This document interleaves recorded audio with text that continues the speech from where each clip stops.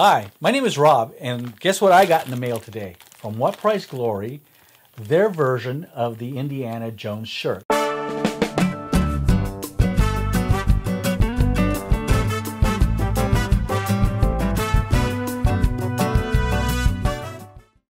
let's go ahead and open this up. Got my scissors right here. Very carefully cut a corner. Careful not to damage the shirt. And like a little kid, we just rip open the bag. Maybe. There's a lot of tape there. Now I can get that out.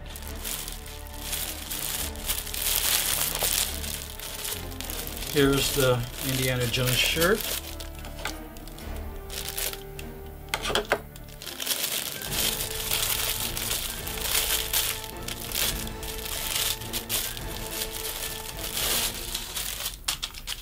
Now, this is a nice cotton shirt, so the difference is it looks almost like the khaki that I'm wearing, but it has some significant differences. Number one, it's a cotton shirt. It means you can't wash it on, in hot water or anything like that. You have to wash it in cold water and delicately dry it and make sure that you don't throw it in the dryer too long and just let it uh, hang dry for a while. The other thing of note is that number one, it has two pockets the shirt I'm wearing doesn't. Uh, and most importantly are the pleats that run down the length of the pockets. And it's a slightly darker color, khaki. So, and the epaulets. The epaulets are important.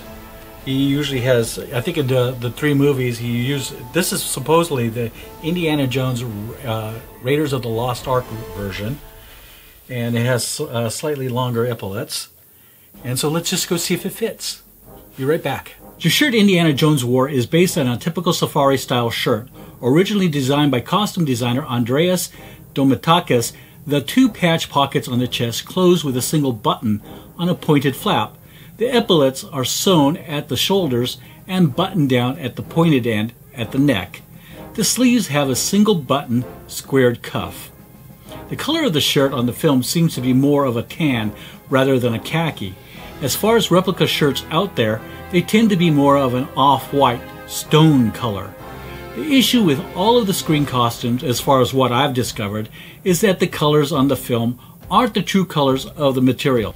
The shirt changed very little from film to film, the only difference being the darker buttons in the second and third films, Temple of Doom and The Last Crusade. So after 40 some out years, I finally got myself an Indiana Jones shirt, the proper attire with the epaulets. I've tried Boy Scout shirts, I've tried other types of khaki shirts. None of them really fit the bill. And this one fits very nicely. It's a 3XL and I'm very happy with it. So here you go.